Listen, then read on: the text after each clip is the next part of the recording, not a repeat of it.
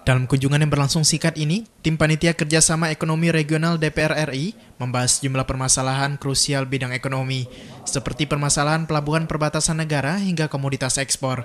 Pemerintah Provinsi Kalbar juga menyoroti keluarnya resolusi Uni Eropa yang menolak sawit dari Indonesia, yang dalam hal ini adalah produksi Kalbar untuk dijual di Uni Eropa.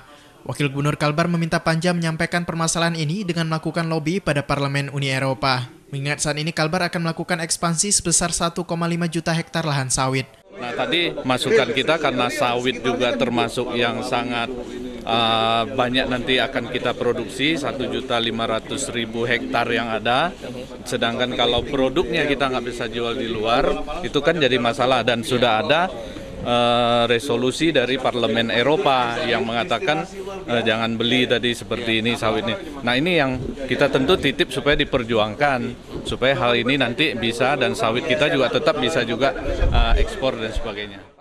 Ketua Tim Panja Kerjasama Ekonomi Regional Juliari Batubara memastikan permasalahan ini akan disampaikan melalui forum relevan Uni Eropa dan dalam pertemuan rutin yang memang digelar minimal setahun sekali.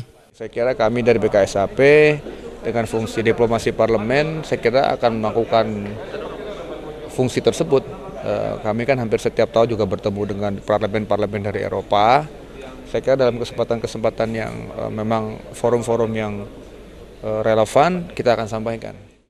Selain fokus pada permasalahan sawit, pertemuan ini juga menyoroti sejumlah permasalahan khas Kalbar, seperti perbatasan negara Indonesia-Malaysia, serta program strategis bidang ekonomi lain seperti rencana pembangunan pelabuhan di Kalbar untuk memaksimalkan ekspor. Enul Yakin, Kompas TV Pontianak.